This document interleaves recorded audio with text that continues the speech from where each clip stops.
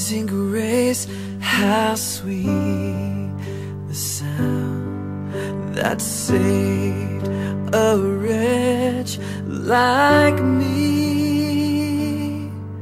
I once was lost, but now I'm found. Was blind, but now I see.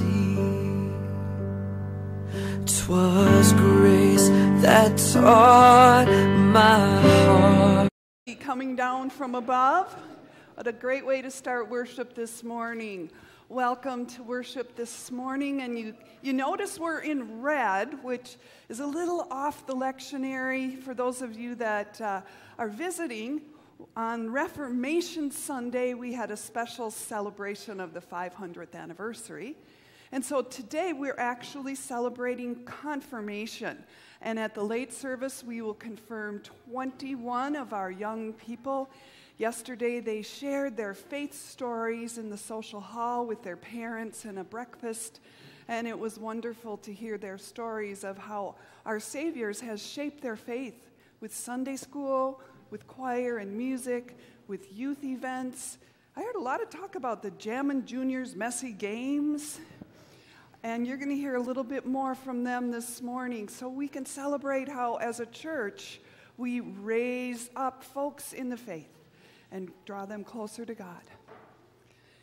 So, we are going to begin with a moment of silence. Take a moment, please, of quiet. The grace of our Lord Jesus Christ, the love of God, and the communion of the Holy Spirit be with you all. Let's stand and sing hymn number 641, verses 1, 3, and 5.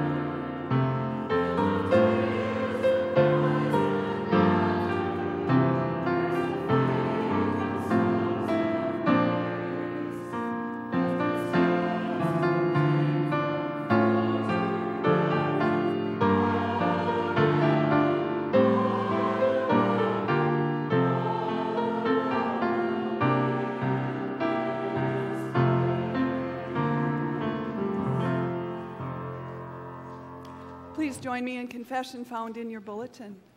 Blessed be the Holy Trinity, the one who fashions us, the one who heals us, the one who reforms us again and again. Amen. Let us confess our sin, calling for God's transforming power. Please take a moment for silent confession.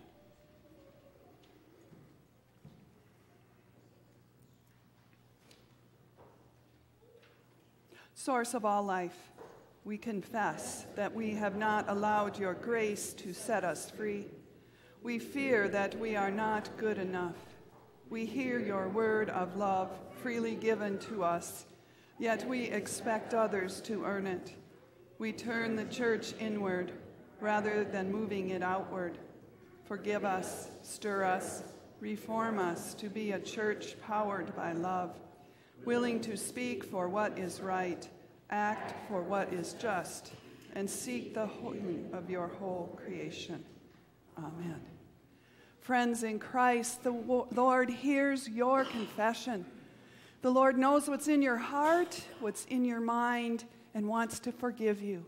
And so today, as a called and ordained minister of Christ, and by Christ's authority alone, I declare to you the entire forgiveness of all your sin in the name of the Father, of the Son, and of the Holy Spirit. Amen. We join in our hymn of praise, page 167 in the front of your hymnal.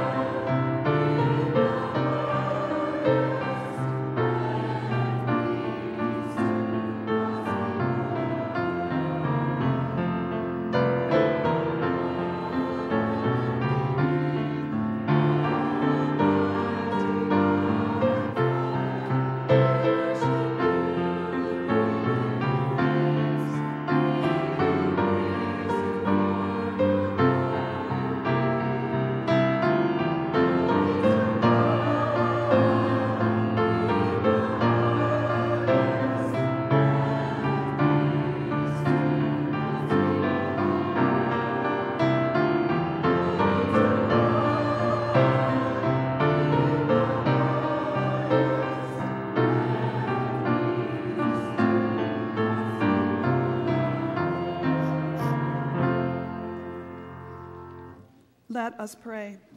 O God of justice and love, you illumine our way through life with the words of your Son.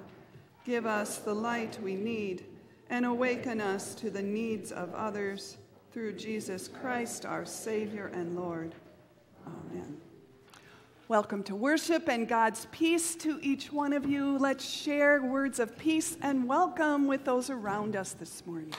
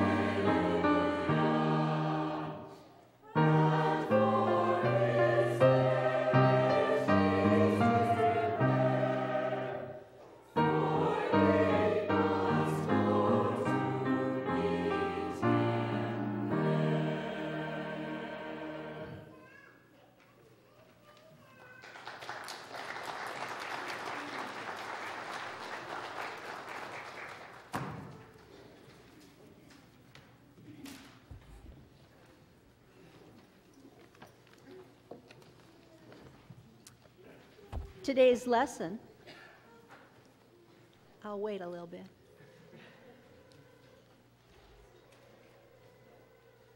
Today's lesson is found in Psalms 46. You'll find the psalm printed in your bulletin, and we'll read the psalm responsively, with the congregation reading the portions in bold print. Psalm 46 God is our refuge and strength, a very present help in trouble.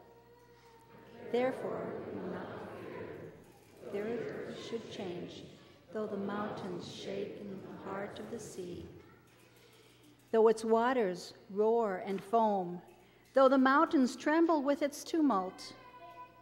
There is a river whose stream makes glad the city of God, the holy habitation of the Most High. God is in the midst of the city.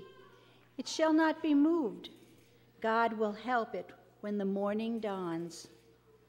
The nations are in uproar. The kingdoms totter. He utters his voice the earth melts. The Lord of hosts is with us. The God of Jacob is our refuge.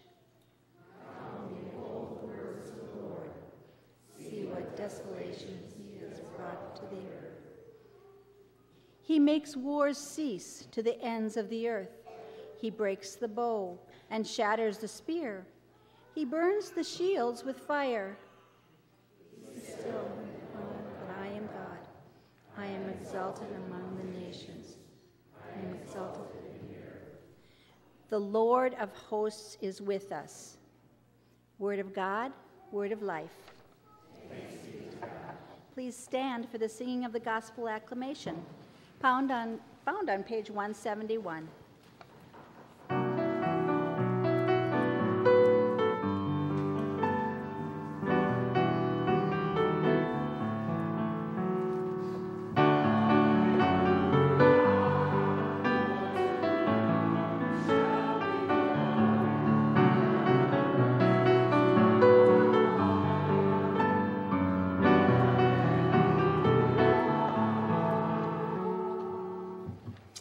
The Holy Gospel according to John, the eighth chapter.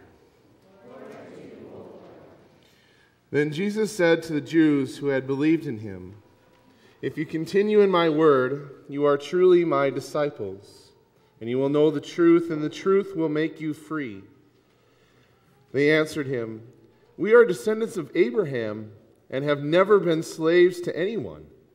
What do you mean by saying you will be made free?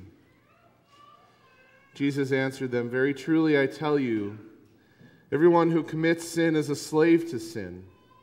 The slave does not have a permanent place in the household, the son has a place there forever. So if the Son makes you free, you will be free indeed. The Gospel of the Lord. You may be seated, and I invite the children to come forward for a children's message this morning.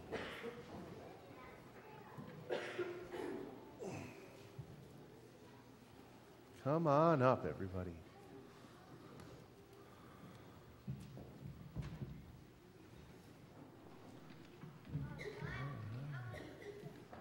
What? You now you're six today? No. Oh, in a couple days. You're already six. Well, happy belated birthday then.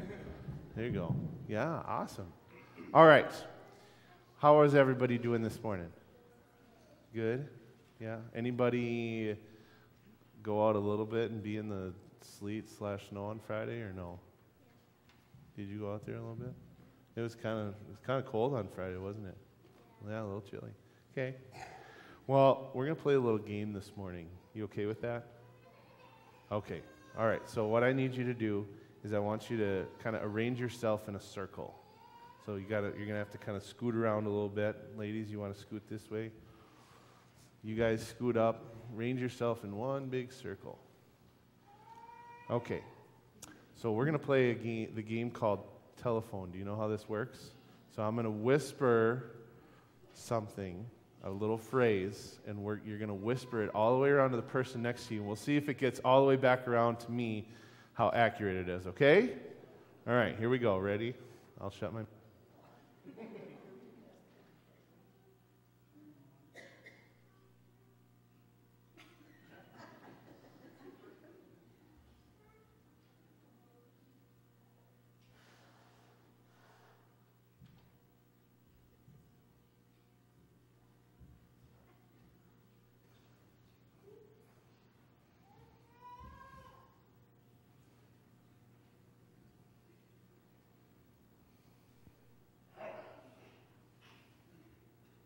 She might need a little help.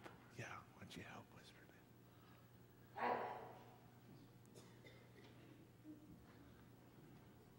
Whisper here.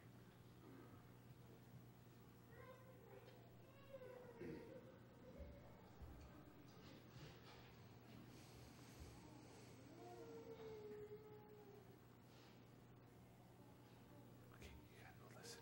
You gotta go listen.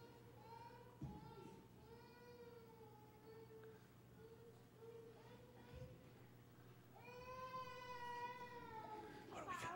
What do we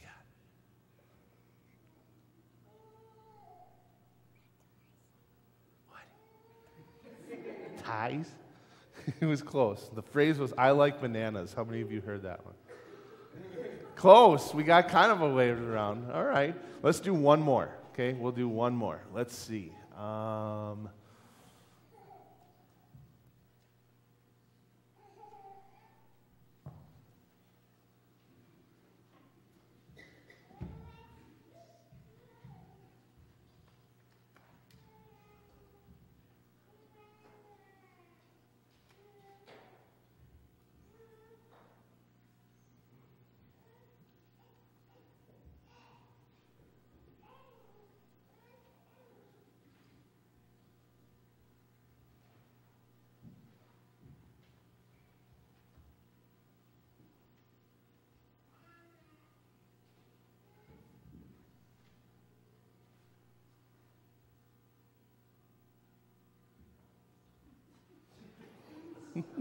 what do we got over here? okay. glasses? Okay, you broke your glasses. That wasn't what I said, but that was close. that was close. Snow is really cold. How many of you heard that part? We got, oh, we got, all right, good, nice. All right, well, you know, that's one of my favorite games. Yeah, that was better than last time. That was really good. That was, that's a fun game. I like that game. Do you? Yeah. So, okay, so listen up here. So, today, in today's uh, psalm, we actually read this line that says, Be still and know that I am God. And you know, sometimes um, we can sit and we pray, and how many of you pray before like meals or before you go to bed? You talk with God a little bit, right? And sometimes God just wants us to kind of be still and just kind of listen. And, and when we do that, there are times where God will speak to us kind of in a whisper, just like in our telephone game, right? Where we just kind of hear his voice quietly, whether it's in our ears or maybe it's in our hearts that we hear God's voice speaking to us, okay? So that's one of my favorite games to play. Would you pray with me?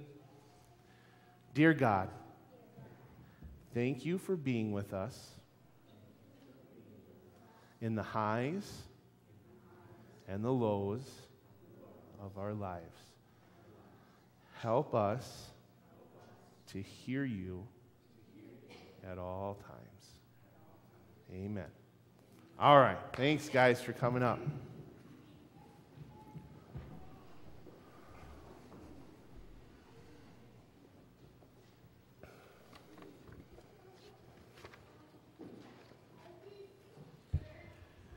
Would you all pray with me this morning?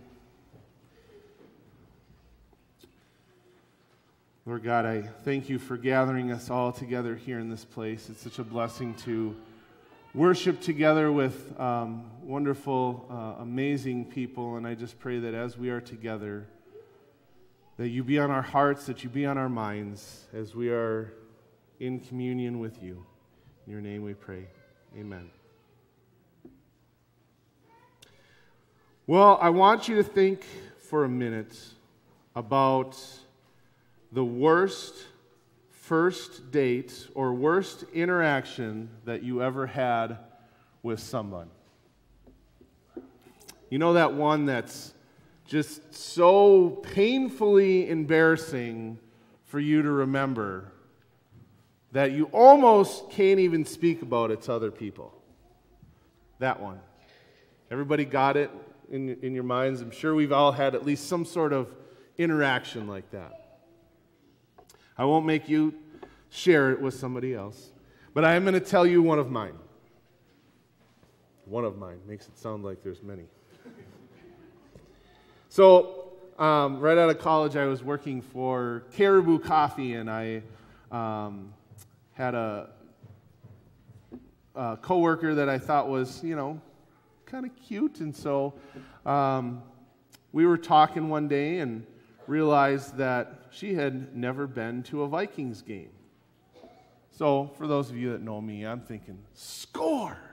right? I can take her to a Vikings game on a date and it would it'll be awesome. So being the, you know, expensive taste that I am, I go on and look for preseason games because I know those are cheaper. And I see obstructed view seating on these tickets that I buy, and I think, ah, how bad can it be, you know? Well, this is back in the time of the Metrodome, so any of you that have sat way up in the nosebleeds of the Metrodome, you know what I'm saying, but we get to the place and we get to our seats, and I have to move to give you this visual.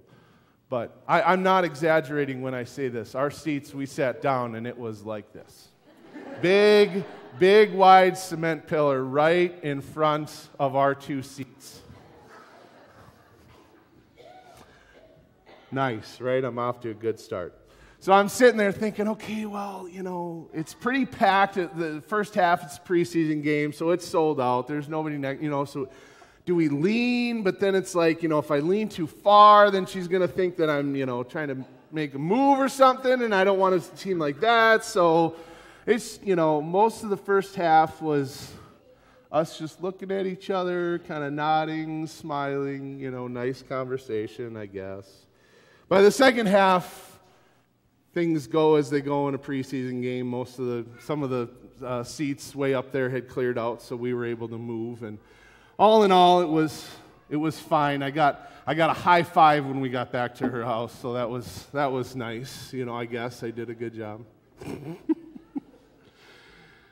oh. But I got to thinking about that because as we read in our gospel of John today, Jesus is talking to these Jewish people that had been listening to him, and he says, If you continue in my word, you are truly my disciples, and you will know the truth, and the truth will make you free. And I, I, I got the, the word continue stuck out to me. In some, in some translation where you read, there's, there's the word dwell. And so, as I was thinking about that and thinking about this idea of continuing in God's Word, I, I started to think about a relationship or about marriage. See, you know, you start out in, in, in a relationship and you start with the dating, right? And it's, kind of, it's that awkward stage of, you, you know, you want to make sure that you're looking good in front of the other person. You don't really know them, so you don't want to say something that makes you look dumb or buy tickets in front of a cement pole or, you know, that kind of stuff. And so it's, it's just that feeling out phase right? And we all go through that in our faith journey as well. At some point along the line, we're introduced to this idea of faith. We're introduced to this God. And we start to learn in Sunday school these, these stories, a little bit about who He is and or, uh, who God is. And we develop this, this really uh, wonderful, but this very simple understanding, you know. And we learn about the Ten Commandments and how, you know, Make sure that you follow the Ten Commandments and that you, you know, do your best to, to follow what God instructs. But at some point, that faith begins to change, and we start to learn a little bit more um, about our amazing God. We kind of get into that, what I like to refer to as maybe like the long term relationship phase in the relationship where we're starting to really know who that person is. We're starting to know their likes, their dislikes, their triggers, the things you should do around them, the things you shouldn't do around them, the things that make them happy, the things that really make the relationship or the, the friendship work. And I kind of picture that in our faith life as kind of that moment that we're talking about this weekend in, in, in confirmation, right? Um, our, our, young men and women shared faith stories yesterday, and they're coming out of a time in their faith journey where they've learned the Bible stories, and now they've learned the Apostles' Creed, the Ten Commandments. They've started to process these Bible stories in a little bit of a deeper level. And they're able to make these statements of faith or share these stories. You're going to hear a couple of them in, in just a minute, but it was amazing for me yesterday to hear um, what these young men and women have gone through in the early parts of their life and how they've been able to kind of process where their faith life fits in their life milestones. So we're, we're kind of in that, that long term relationship phase. Then eventually our faith life becomes a little bit more like a marriage or like a really deep, deep friendship. There's the closeness, there's this amazing beauty beyond just the physical. There's the idea of knowing that person inside and out. My wife would tell you that's not always the greatest thing in the world. Um, with my snoring and my maybe over passion for sports, I guess. But you really know that person, okay? And you really have this, and not only that, you're able to kind of be yourself. And I think at, at a time we get to that journey in our, in our faith life as well, where we, we kind of cross beyond this idea of, you know, a, a, a, set of rules, you know, the Ten Commandments that we've, we've got to follow that, and that's all well and good. But at some point, we start to learn that there's this God that truly, genuinely wants this loving relationship with us and wants to walk with us through these journeys and that not only is it just about you know following these rules but god also says you know i created you and i gave you this idea of choice and free will and i know that you're going to make mistakes sometimes and that's okay i love you in spite of that and i love you so much more and my desire to be in a relationship with you goes way beyond what you do and you don't do. And it's this beautiful, amazing relationship. And, and so I think as we can continue to get to know God,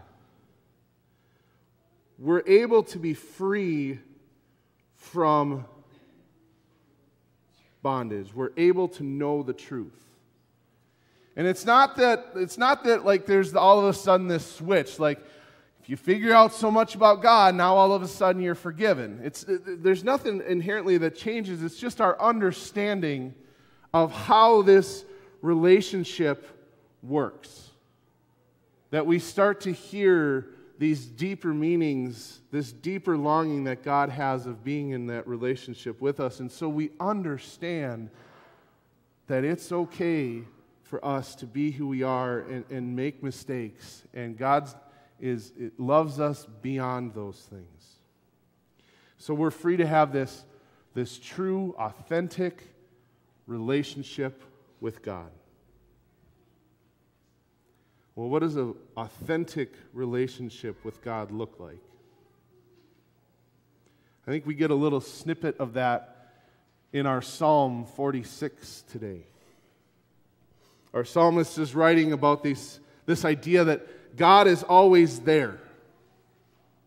He's there through the, the deepest, darkest times in our life, but also through the joys and the wonders, and that despite all of these other things that go on in this world, God is a constant that is, that is there for us at all times. And I, I love the line uh, in, in verse 10 where it says, Just be still.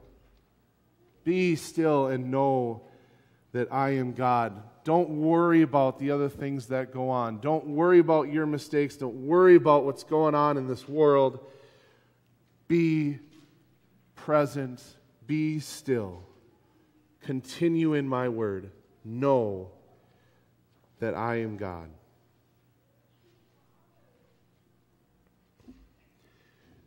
As I said, we've got 21 young men and women who have been wrestling with this idea of God being in their lives.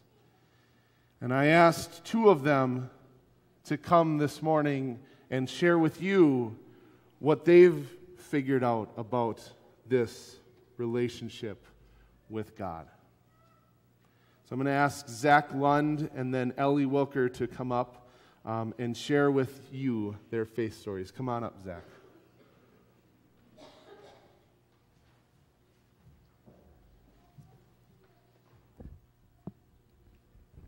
Hi, I'm Zach. I remember one night, years ago, I was sitting in my room before bed, waiting for my mom to come in and say the Lord's Prayer with me so I could finally get to sleep. As I was waiting, I started to get bored, and as the fourth minute passed, I was a kid, so it had felt like I'd been sitting there for four hours. And I got really impatient, so I decided to just say it myself.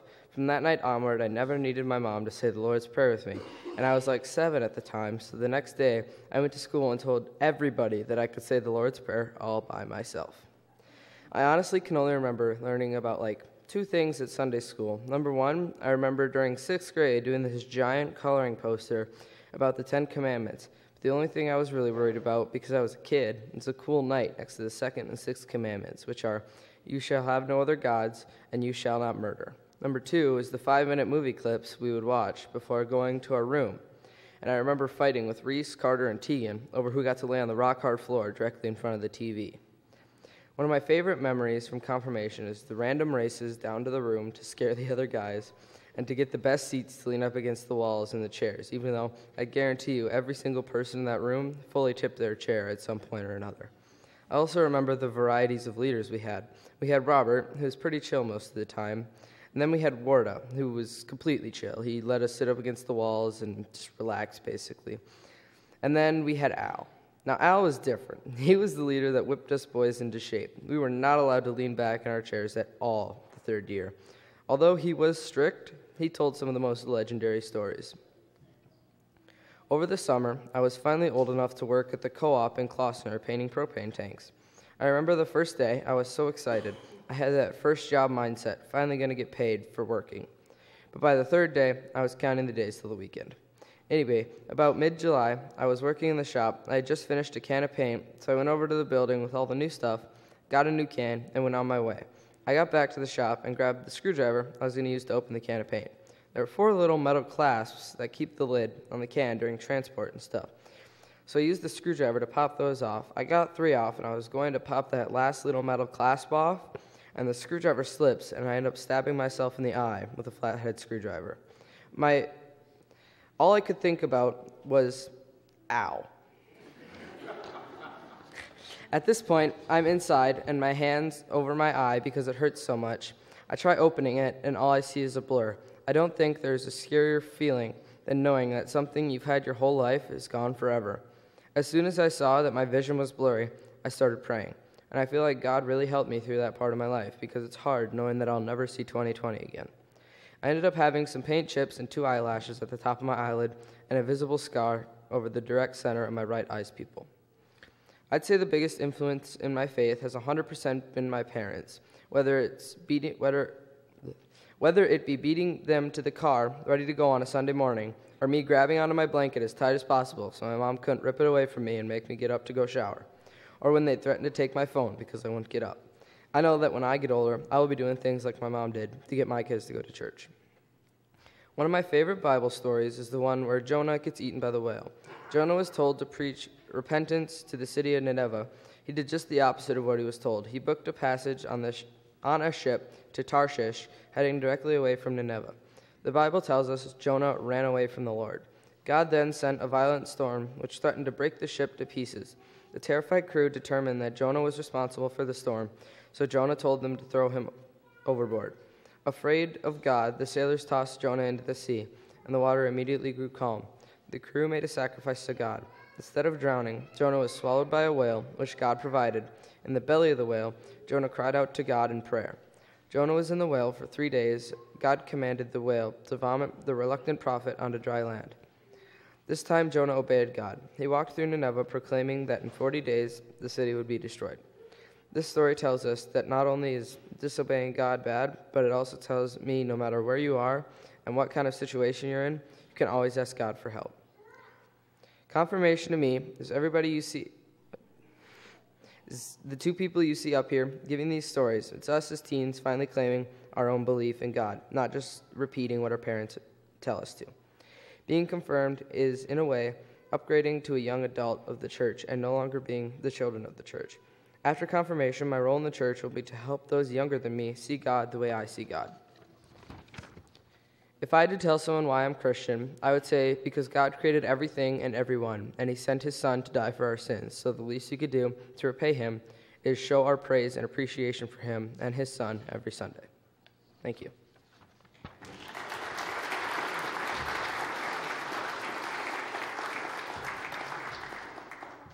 Hello, my name is Ellie Wilker, and this is my faith story. When I think about my faith story, I think about waking up early every Sunday to go to church, and then to Sunday school in the cold Sunday school rooms. This is how I got to know the stories of the Bible. I remember Pastor Todd's Oreo children's sermons and singing, and singing the hippo song, watching Theo the puppet, or singing with Shannon downstairs before Sunday school. Being involved in the children's choir, participating in VBS, and the Christmas program. As soon as my elementary years were over, confirmation started to roll around. Wednesday nights got busy for me. After youth choir, I had some free time to annoy Zach or throw around my crock with Abby Haitala. As for highs of my faith, I, it would have to be getting closer to my church family. I know I can go to them if I needed something, a serious issue, or just a laugh, or many laughs. If I had to name a turning point in my life, with my relationship with God, it would have to be VBS last summer. It just felt so natural to be leading a group of kids at camp and teaching the way I was taught when I was little. Ever since then, I felt this pull to get closer to God and be more involved at church. Then, a few weeks ago, Zach took us on a confirmation retreat at Green Lake. One of the activities we did involved a blindfold. My good friend Annika led me through the hallway as she, and then she had me kneel listening to my favorite song, Sanctuary. It was the first, I was the first to go, so I had some time to meditate. And in this time, as it, I felt as if God has, had his hands on my shoulders. I felt so close to God in this moment. Then they told the story of Easter while we were all still blindfolded. It was very emotional to me, knowing that God will always be with me, always be watching over me, always listening to me, always taking care of me through the people around me. One of the many people was Pastor Todd. He was my pastor when I was little. He was there when we needed a boost of energy at Sunday school to sing the hippo song, or on Wednesday mornings to greet the children at Jefferson. Another is Shannon. She, will, she always believed in me and never doubted me. She also helped me become the great musician. She helped me understand the music better at church. Last but not least, my parents. They have been there since day one. They've taken me to church almost every Sunday, if they hadn't, I probably would be a whole different person I am today. So I'd like to thank them for that. That is the main reason why I'm so familiar with the majority of the Bible stories. My favorite Bible story is also Jonah and the whale. Jonah knows that when he's in trouble, he knew that God was with him, and he didn't have to worry because he knew that God had a plan for him. This is why he survived for three days in that whale.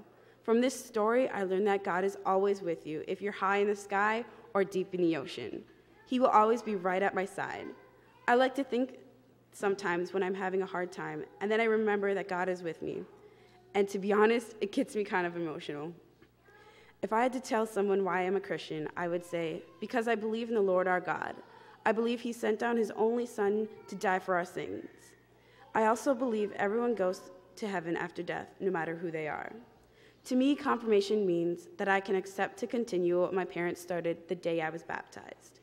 This, import, this is important because I know I can speak for myself and believe for myself in Christianity and the Lutheran Church. I also believe that God has a plan for everyone. I like to believe my plan involves music. But there's many pieces of music I would like to play, and the only pieces I will be playing will be the one that God has composed for me. And today I'm sitting in front of that piece of music because I cannot wait to play the music God has created for me. Thank you.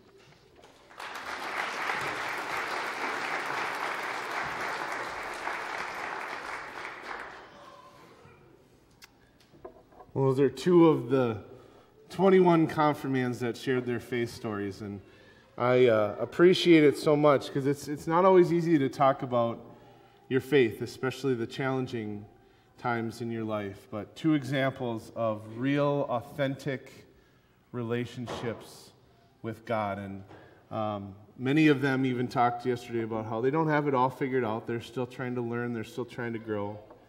But isn't that true for so many of us. So I want you to think about this idea that God wants this amazing, deep relationship with you, and He wants you to continue to grow and to continue to dwell in His Word. So may you continue to learn about our amazing God and the plan He has for your life. May you realize that God wants a true, genuine relationship with you, and God calls you to abide in Him. May you be inspired by our amazing, our amazing confirmands and their stories to grow closer with Christ. And may you know that God will always be there for you, to walk with you along the journey of life through the highs and the lows. Amen. Please stand as you are able, and we'll sing our hymn of the day, number 581, You Are Mine, verses 1, 2, and 4.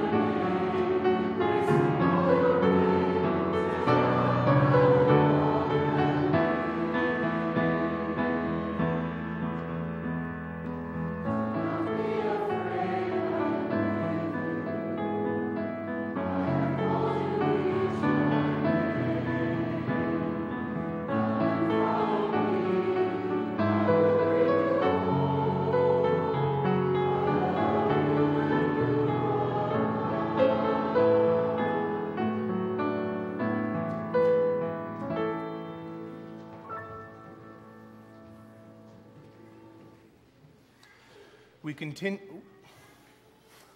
we continue by praying for the church and for all of God's people. Welcoming God's reign of righteousness and mercy, let us pray with all the people of every time and place.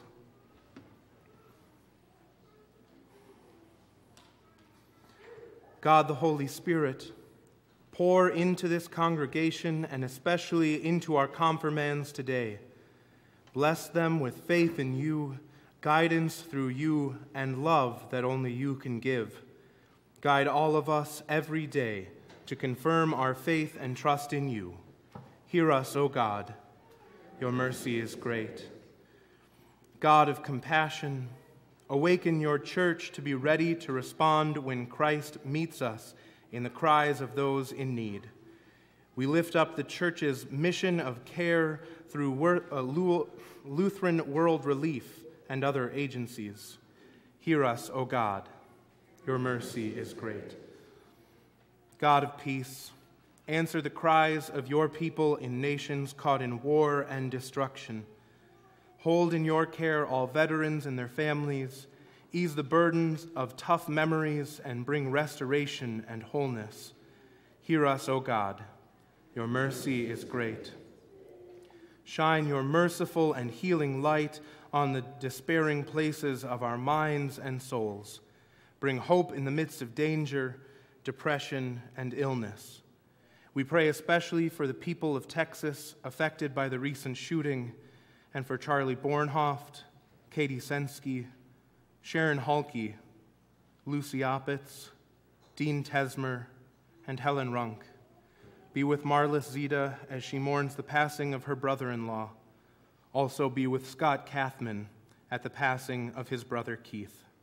Hear us, O God. Your mercy is great. Receive these prayers and the hopes and concerns of our hearts, O God, as we entrust into your loving care all for whom we pray through Jesus Christ, our Savior and Lord. Amen. Now I invite you to be seated as we continue by giving back our offering.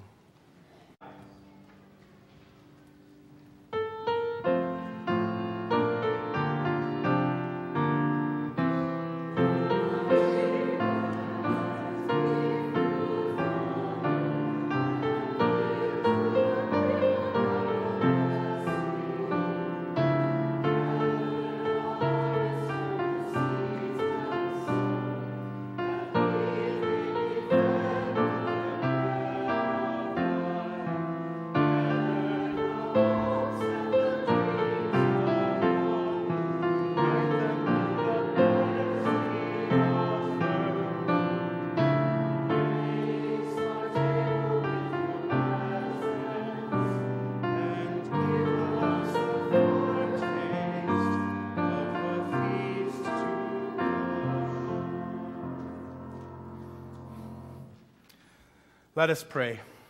God of life, you give us these gifts of the earth, these resources of our life and our labor. Take them offered in great thanksgiving and use them to set a table that will heal the whole creation. Through Jesus Christ, our Savior and light. Amen. The Lord be with you. With you. Lift up your hearts. Let us give thanks to the Lord our God. We remember on the night in which he was betrayed, our Lord Jesus took bread, gave thanks, and broke it, giving it to his disciples, saying, Take and eat. This is my body given for you. Do this for the remembrance of me. Again, after supper, Christ took the cup, gave thanks, and gave it for all to drink, saying, this cup is the New Testament in my blood, shed for you and for all people for the forgiveness of sins. Do this for the remembrance of me. Lord, remember us in your kingdom and teach us to pray. Our Father in heaven, hallowed be your name. Your kingdom come, your will be done, on earth as in heaven. Give us today our daily bread. Forgive us our sins as we forgive those who sin against us Save us from the time of trial and deliver us from evil. For the kingdom, the power, and the glory are yours, now and forever. Amen. I invite you to be seated. Uh, this morning, communion will be served. Holy God has fed us with the bread of life and the cup of salvation. May it strengthen us for all of our days to come and keep us growing in the joy of the Lord. Let's join in our prayer after communion. Holy and compassionate God, in bread and wine you give us gifts that form us to be humble and courageous. May your words come to life in our serving and in our witness, that we might speak a living voice of healing and justice to all the world. Through Jesus Christ, our rock and our Redeemer. Amen. Just a couple of announcements. Uh, if you take a look in your grab and go, you'll see that we have an Advent study coming up. Pastor Deb will be leading that in between services starting November 26th. Uh, and that's a great time to learn about the season of Advent. Um, I'm sure we'll get some fun etymology stuff because Advent has a lot of cool stuff in there. But Pastor Deb is more interested in leading the exciting parts of Advent rather than my boring etymology stuff. Um, but it will be a wonderful class uh, to learn about that season and to see what God is doing in that season, uh, even though we've already celebrated that first Christmas. Uh, also, you'll see that we have our Thanksgiving service coming up the Wednesday before Thanksgiving, so that's November 22nd, and that's over at Christ the King, and we'll have services at noon and at 7. Ah, and you can bring pies to Christ the King that we'll be having afterwards, so that should be good. Somebody's bringing pumpkin, right? Anybody? Please. Oh, okay. Um, also, if you take a look on the back of your grab and go, you'll see an announcement from our stewardship team. Uh, please take some time to look through that and see where God is calling you to serve. Uh, I think that's everything, but remember, you can take that grab and go sheet with you uh, so you can see everything that's going on this coming week. Now I invite you to stand as you are able to receive the benediction. May the Lord bless you and keep you. May the Lord's face shine upon you and be gracious to you. May the Lord look upon you with favor and give you peace. In the name of the Father, of the Son, and the Holy Spirit. Amen. Let's join in our sending hymn, uh, Go, My Children, with My Blessing, number 543, verses 1 and 3.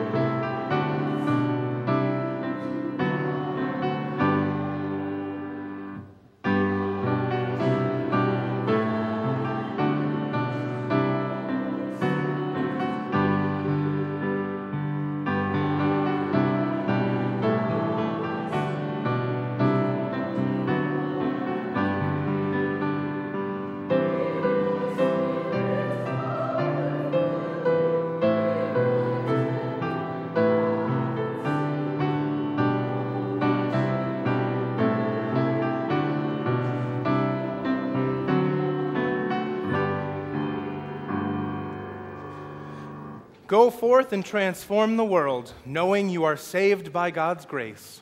Thanks be to God.